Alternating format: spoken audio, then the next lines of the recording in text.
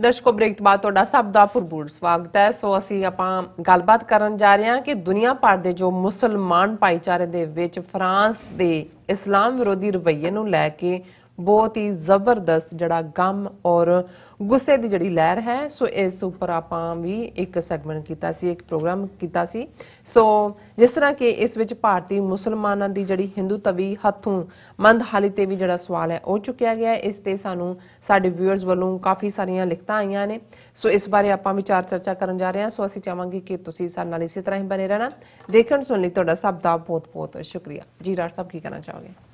ਦੇਖੋ ਸਭ ਤੋਂ ਪਹਿਲਾਂ ਤਾਂ ਬੇਸ਼ੱਕ ਹੁਣ ਸਾਡੇ ਸਾਊਥ ਏਸ਼ੀਆ ਦੇ ਖਿੱਤੇ 'ਚ ਸੈਲੀਬ੍ਰੇਸ਼ਨਸ ਓਵਰ ਹੋ ਚੁੱਕੀਆਂ ਨੇ। ਜੀ ਅ, ਪਿਛਲੇ ਦਿਨ ਬੜੇ ਮੁਬਾਰਕ ਸੀ ਜਿਨ੍ਹਾਂ ਨੂੰ ਈਦ ਮਿਲਦ ਉਨ ਨਬੀ ਕਹਿੰਦੇ ਨੇ ਕਿਉਂਕਿ ਇਹ ਨਬੀ ਮੁਹੰਮਦ ਸਾਹਿਬ ਦਾ ਜਿਹੜਾ ਪੈਦਾਇਸ਼ ਦਾ ਦਿਨ ਹੈ ਔਰ ਇਹ ਅ, 12ਵਾਂ ਦਿਨ ਹੁੰਦਾ ਹੈ ਰਬੀਉਲ ਅਵਲ ਜਿਹੜਾ ਮਹੀਨਾ ਇਸ ਹਿਜਰੀ ਸੰਮਤ ਦੇ ਵਿੱਚ। ਜੀ ਔਰ ਬੇਸ਼ੱਕ ਇਸ ਦੇ ਵਿੱਚ ਦੂਸਰੀਆਂ ਜਿਵੇਂ ਈਦ ਉਲ ਫਿਤਰ ਔਰ ਈਦ ਉਲ ਜ਼ੁਹਾ ਵਾਂਗ ਸੈਲੀਬ੍ਰੇਸ਼ਨਸ ਨਹੀਂ ਹੁੰਦੀਆਂ ਲੇਕਿਨ ਵਿਸ਼ੇਸ ਹੁੰਦੀਆਂ ਔਰ ਇਹ ਦਿਨ ਹੈ ਮੁਬਾਰਕ ਜਦੋਂ ਕਿ 570 ਈਸਵੀ ਦੇ ਵਿੱਚ ਮੁਹੰਮਦ ਸਾਹਿਬ ਇਸ ਦੁਨੀਆ ਦੇ ਉੱਤੇ ਆਏ ਔਰ ਉਹਨਾਂ ਨੇ ਆਪਣਾ ਜਿੱਥੇ ਇਨਸਾਨੀਅਤ ਦਾ ਅਮਨ ਦਾ ਔਰ ਇੱਕ ਰੱਬ ਦੀ ਹੋਂਦ ਦਾ ਮੈਸੇਜ ਦਿੱਤਾ ਹੈ। ਉੱਥੇ ਇਸ ਸਾਰੇ ਪੀਰੀਅਡ ਦੇ ਵਿੱਚ ਜਦੋਂ ਹੁਣ ਇਸ ਸਾਲ ਇਹ ਦਿਨ ਮਨਾਇਆ ਗਿਆ ਈਦ ਮਿਲਦ ਉਨ ਨਬੀ ਅਸੀਂ ਮੁਬਾਰਕਬਾਦ ਵੀ ਦਿੰਦੇ ਹਾਂ ਆਪਣੇ ਸਾਰੇ ਮੁਸਲਮਾਨ ਭੈਣਾਂ ਭਰਾਵਾਂ ਨੂੰ। ਪਰ ਇਸ ਵੇਲੇ ਇੱਕ ਉਹੀ ਇਸਲਾਮੋਫੋਬੀਆ ਜਿਸ ਦੀ ਬੇਸ਼ੱਕ ਜੇ ਅਸੀਂ ਈਵਨ ਕ੍ਰੂਸੇਡਸ ਦੇ ਜ਼ਮਾਨੇ ਤੋਂ ਜਾਂ ਮੁੱਢਲੇ ਦਿਨਾਂ ਤੋਂ ਹੀ ਦੇਖੀਏ ਇੱਕ ਤਕਰਾਰ ਤਾਂ ਰਿਹਾ ਵੱਖਰੀ ਕਿਸਮ ਦਾ ਇੱਕ ਹਿਸਟੋਰੀਕਲ ਪਾਰਟ ਹੈ ਜਿਹੜਾ ਉਸ ਸਾਰੇ ਕ੍ਰਾਈਸਿਸ ਦਾ ਲੇਕਿਨ ਜਿਸ ਅੰਦਾਜ਼ ਦੇ ਵਿੱਚ 9/11 ਤੋਂ ਬਾਅਦ ਖਾਸ ਤੌਰ ਤੇ ਇੱਕ ਇਸਲਾਮੋਫੋਬੀਆ ਔਰ ਉਸ ਨੂੰ ਕਲੈਸ਼ ਆਫ ਸਿਵਲਾਈਜੇਸ਼ਨਸ ਦੇ ਨਾਲ ਜੋੜ ਕੇ ਹੰਟਿੰਗਟਨ ਦੀ ਲਿਖਤ ਨੂੰ ਕਲੈਸ਼ ਆਫ ਸਿਵਲਾਈਜੇਸ਼ਨ ਨੂੰ ਵੀ ਆਧਾਰ ਬਣਾਇਆ ਗਿਆ ਹੈ। ਔਰ ਹੌਲੀ ਹੌਲੀ ਹੌਲੀ ਕਿਵੇਂ ਉਹ ਉਸ ਹੱਦ ਤੱਕ ਪਹੁੰਚ ਗਈ ਹੈ ਕਿ ਯੂਰਪ ਜਿਹੜਾ ਆਪਣੇ ਆਪ ਨੂੰ ਡੈਮੋਕ੍ਰੇਸੀ ਔਰ ਫਰੀडम ਆਫ ਐਕਸਪ੍ਰੈਸ਼ਨ ਔਰ ਉਸ ਸਾਰੇ ਦਾ ਬਾਪ ਸਮਝਦਾ ਹੈ।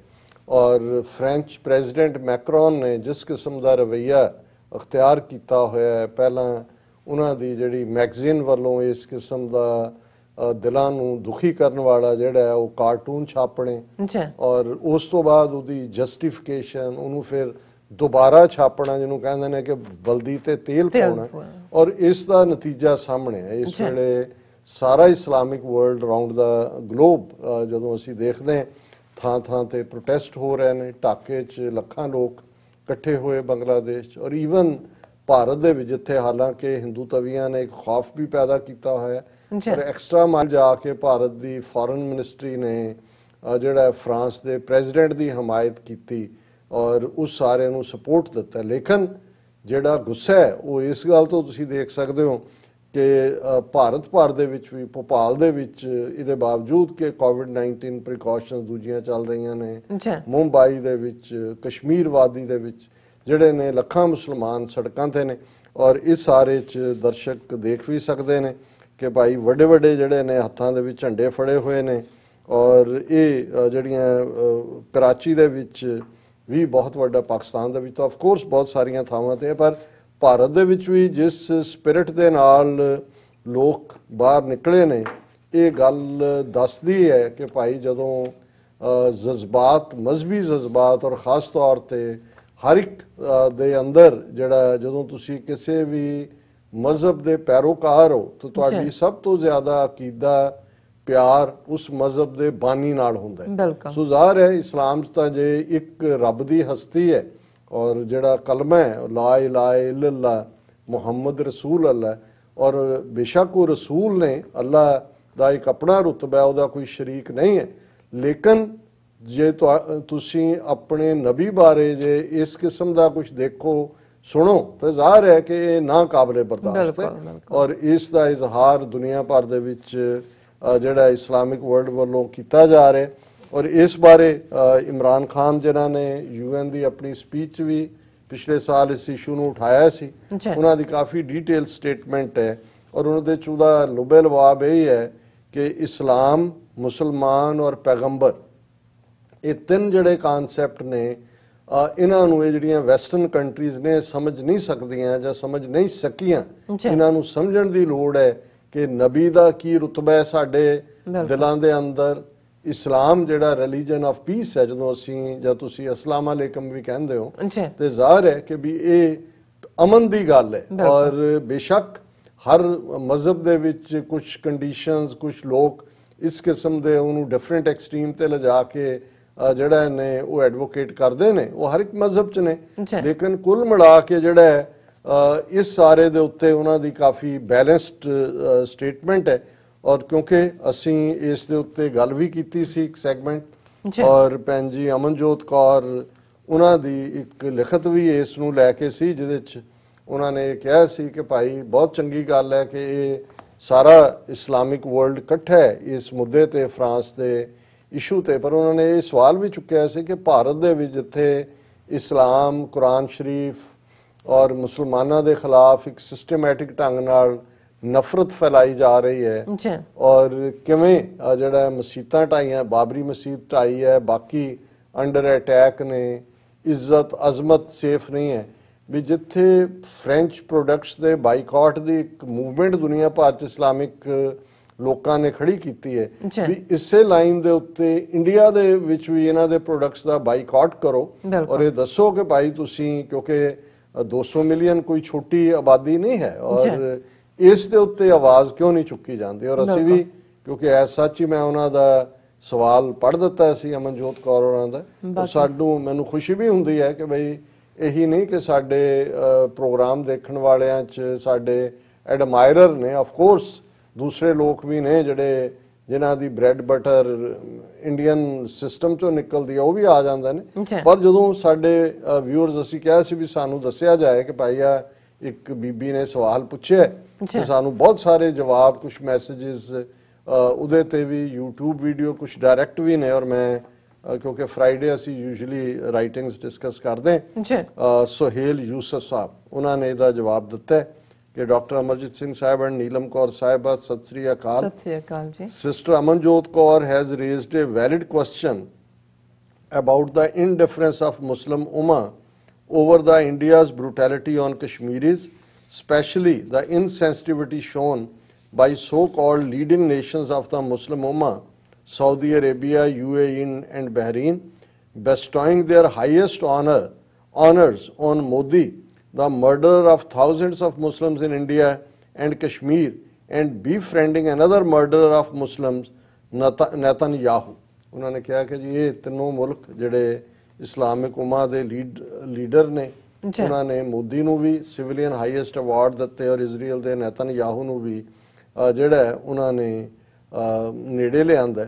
ਔਰ are they so number to the plight of their fellow Muslims on their narrow personal interest, namely keeping hold on power to enjoy the perks of the power, is more important to them than standing up to oppressors of fellow Muslims, be it Kashmiris, Rohingya, Indian Muslims, Palestinians, or any other oppressed people. ਉਹਨਾਂ ਨੇ ਕਿਹਾ ਕਿ ਜੀ ਇਹ ਜਿਹੜੇ ਸਾਰੇ ਹੀ ਨੇ ਅਹ, ਉਹਨਾਂ ਨੇ ਇਸਲਾਮਿਕ ਮੁਲਕਾਂ ਦਾ ਜ਼ਿਕਰ ਕੀਤਾ ਖਾਸ ਤੌਰ ਤੇ Saudi Arabia UAE and Bahrain ਜੀ ਕਿ ਇਹ ਆਪਣੀ ਪਾਵਰ ਨੂੰ ਚੰਬੜੇ ਰਹਿਣਾ ਚਾਹੁੰਦੇ ਨੇ।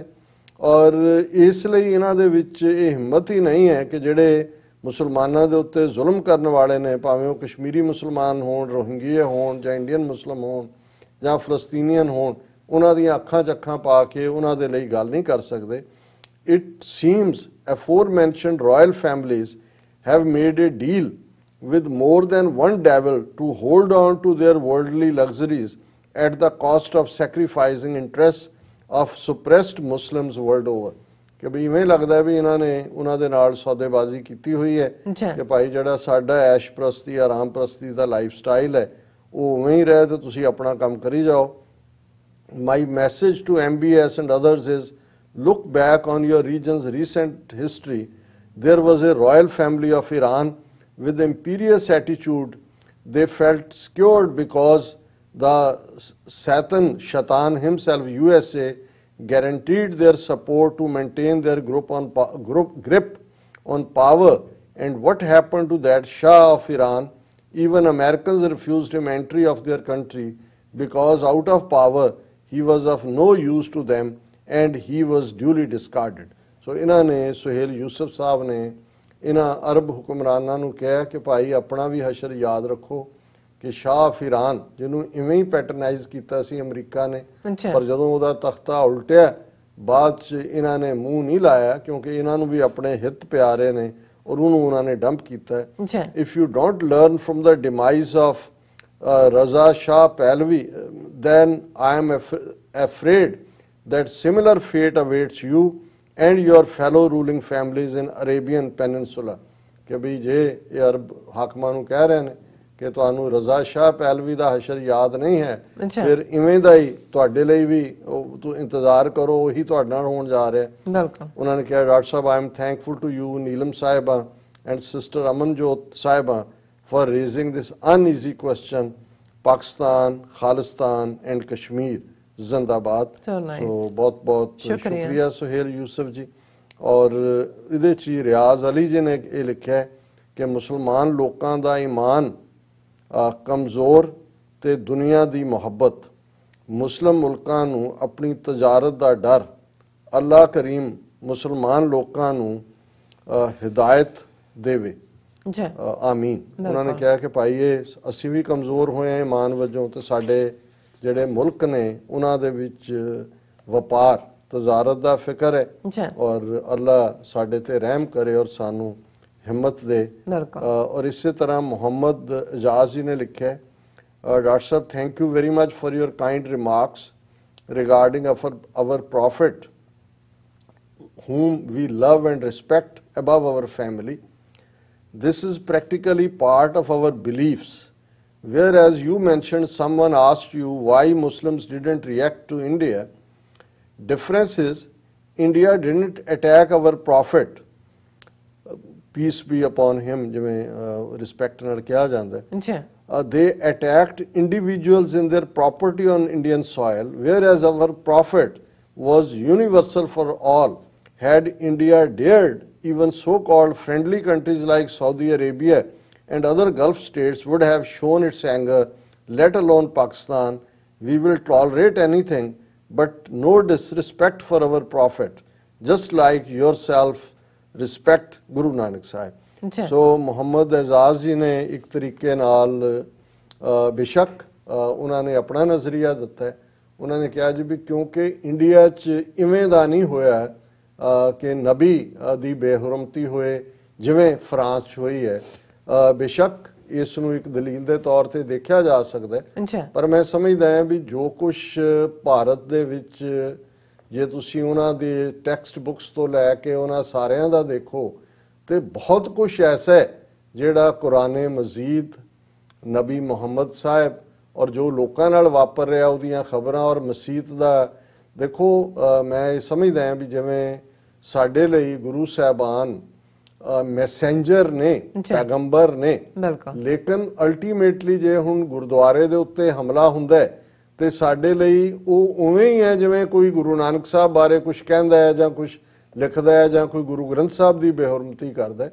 ਸੋ ਮੈਂ ਸਮਝਦਾ ਵੀ ਇਕੁਏਟ ਨਹੀਂ ਕਰਨਾ ਚਾਹੀਦਾ। ਹਾਲਾਂ ਹਰ ਚੀਜ਼ ਦੀ ਆਪਣੀ ਇੱਕ ਮੁਕਾਮ ਹੈ।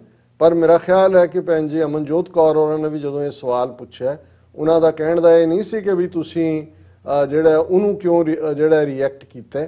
ਉਹ ਇਹੀ ਕਹਿਣਾ ਚਾਹੁੰਦੇ ਸੀ ਕਿ ਜਿਵੇਂ ਸੋਲੀਡੈਰਿਟੀ ਦੇ ਨਾਲ ਇਸਲਾਮਿਕ ਵਰਲਡ ਫਰਾਂਸ ਦੇ ਖਿਲਾਫ ਖਲੋਤਾ ਹੈ ਇਵੇਂ ਹੀ ਆਪਣੇ ਮੁਸਲਮਾਨ ਭੈਣਾਂ ਭਰਾਵਾਂ ਦੀ ਜਿਹੜੀ ਹੈ ਫਿਕਰ ਵੀ ਕਰੋ। ਨਹੀਂ ਤਾਂ ਔਰ ਕਸ਼ਮੀਰੀਆਂ ਦਾ ਵੀ ਉਹਨਾਂ ਨੇ ਜ਼ਿਕਰ ਕੀਤਾ ਸੀ। ਨਹੀਂ ਤਾਂ ਜੋ ਕੁਝ ਇੱਥੇ ਚੱਲ ਰਿਹਾ ਹੈ ਇਹ ਇਹਨਾਂ ਦੀ ਹੋਂਦ ਇਹਨਾਂ ਹਿੰਦੂ ਤਵੀਆਂ ਨੇ ਰਹਿਣ ਨਹੀਂ ਦੇਣੀ। ਇਹ ਉਹਨਾਂ ਦਾ ਕਹਿਣਾ ਸੀ। ਔਰ ਇਸੇ ਤਰ੍ਹਾਂ ਨਿਊਐਸਟ ਡਾਕੂਮੈਂਟਰੀਜ਼ ਦੇ ਥੱਲੇ ਇੱਕ ਲਿਖਤ ਹੈ ਕਿਉਂਕਿ OIC ਦਾ ਜ਼ਿਕਰ ਸੀ ਕਿ 57 ਦੇਸ਼ਾਂ ਦੀ ਇਹ ਆਇਲ ਪ੍ਰੋਡਿਊਸ ਕਰਨ ਵਾਲੀ ਜਥੇਬੰਦੀ ਤੇ ਉਹਦੇ ਚ ਉਹਨਾਂ ਨੇ ਨਿਊਐਸਟ ਡਾਕੂਮੈਂਟ ਵਾਲਿਆਂ ਨੇ ਕਿਹਾ OIC is led by coward western puppets who has business interests in India and elsewhere ਕਿ OIC ਦੀ ਲੀਡਰਸ਼ਿਪ ਕਾਵਰਡਸ ਦੇ ਕੋਲ ਹੈ ਜਿਨ੍ਹਾਂ ਦੇ ਬਿਜ਼ਨਸ ਇੰਟਰਸਟ ਨੇ ਭਾਰਤ 'ਚ ਔਰ ਦੂਸਰੇ ਪਾਸੇ being the western servants they follow their line they know what happened to king faisal Zulfikar Ali Bhutto Anwar Sadat Gaddafi Saddam and others ਜੀ। ਇਹ ਸਾਰੇ ਹੀ ਉਹ ਨੇ ਜਿਨ੍ਹਾਂ ਨੇ ਵੈਸਟ ਨੂੰ ਚੈਲੰਜ ਕੀਤਾ ਔਰ ਇਹ ਯੂਐਸ ਡਾਕੂਮੈਂਟਰੀਜ਼ ਕਹਿੰਦੇ ਨੇ ਵੀ ਇਹਨਾਂ ਨੂੰ ਇਹ ਕਿਉਂਕਿ ਪੈਸੇ ਦੇ ਪੁੱਤਰ ਔਰ ਤਜਾਰਤ ਦੇ ਵਿੱਚ ਕਰ ਇਹਨਾਂ ਨੂੰ ਪਤਾ ਹੈ ਕਿ ਜੇ ਵੈਸਟ ਦੇ ਸਾਹਮਣੇ ਖਲੋਤੇ ਤਾਂ ਫਿਰ ਇਹਨਾਂ ਵਾਂਗ ਜਿਨ੍ਹਾਂ ਦੇ ਨਾਂ ਲਏ ਨੇ ਕੀ ਹਸ਼ਰ ਹੋਏਗਾ the western leadership keeps on humiliating the muslims for political gains. There are 30000 skulls of algerian muslim leaders piled up in a museum in paris. ਇਹ ਨਵੀਂ ਜਾਣਕਾਰੀ ਹੈ ਉਹਨਾਂ ਨੇ ਕਿਹਾ ਵੀ ਹਿਊਮਿਲੇਟ ਕਰਦੇ ਨੇ ਵੀ 30000 ਖੋਪੜੀਆਂ ਜਿਹੜੀਆਂ ਨੇ ਉਹ ਅਲਜੀਰੀਅਨ ਮੁਸਲਮਸ ਦੀ ਕਿਉਂਕਿ ਫ੍ਰੈਂਚ ਕਾਲੋਨੀ। ਉਹਨਾਂ ਨੇ ਪੈਰਿਸ ਦੇ ਵਿੱਚ ਰੱਖੀਆਂ ਹੋਈਆਂ ਔਰ ਮੈਂ ਅਖੀਰਲੀ ਲਿਖਤ ਕਿਉਂਕਿ ਅਸੀਂ ਬਹੁਤ ਵਾਰ ਆਪਣੇ ਵਿਊਅਰਸ ਦੇ ਲਿਖਤਾਂ ਨੂੰ ਬਹੁਤਾ ਵਕਤ ਨਹੀਂ ਦਿੰਦੇ।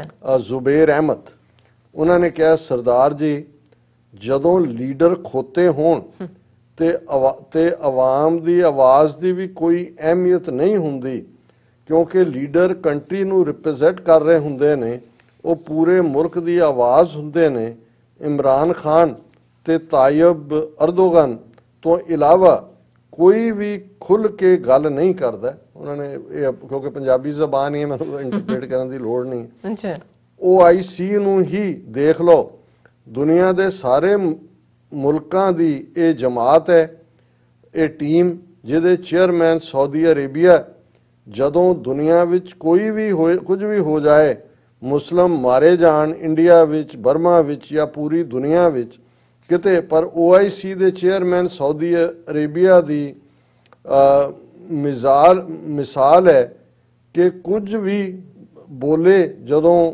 ਲੀਡਰ ਹੀ ਚੁੱਪ ਰਹੇਗਾ ਜਾਂ ਦੁਸ਼ਮਣ ਦੀ ਸਾਈਡ ਦੀ ਗੱਲ ਕਰੇਗਾ ਤੇ ਫਿਰ ਬਾਕੀ ਮੁਲਕਾਂ ਦੀ ਆਵਾਜ਼ ਦੀ ਵੀ ਕੋਈ ਖਾਸ ਅਹਿਮੀਅਤ ਨਹੀਂ ਰਹਿੰਦੀ।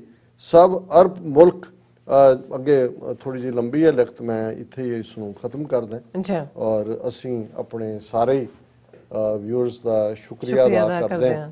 ਕਿ ਉਹ ਸਾਨੂੰ ਲਿਖਦੇ ਨੇ। ਜੀ। ਔਰ ਅਸੀਂ ਇਹ ਵੀ ਕਵਾਂਗੇ ਵੀ ਸਾਨੂੰ ਆਪਣੀਆਂ ਦੁਆਵਾਂ ਵਿੱਚ ਰੱਖੋ। ਔਰ ਰੱਬ ਰਹਿਮਤ ਕਰੇ। ਅਲਟੀਮੇਟਲੀ ਚੈਲੰਜਸ ਨੇ ਜੀ। ਫੇਥ ਲਈ ਈਮਾਨ ਲਈ ਖਲੋਣਾ ਇਹ ਸਾਡਾ ਫਰਜ਼ ਹੈ ਕਿਉਂਕਿ ਸਾਡੇ ਤੇ ਹੀ ਫਰਜ਼ ਹੁੰਦਾ ਹੈ। ਜੀ। ਔਰ ਔਖੇ ਵਕਤ ਆਉਂਦੇ ਨੇ ਕੌਮਾਂ ਤੇ ਨਿਕਲ ਜਾਂਦੇ ਨੇ।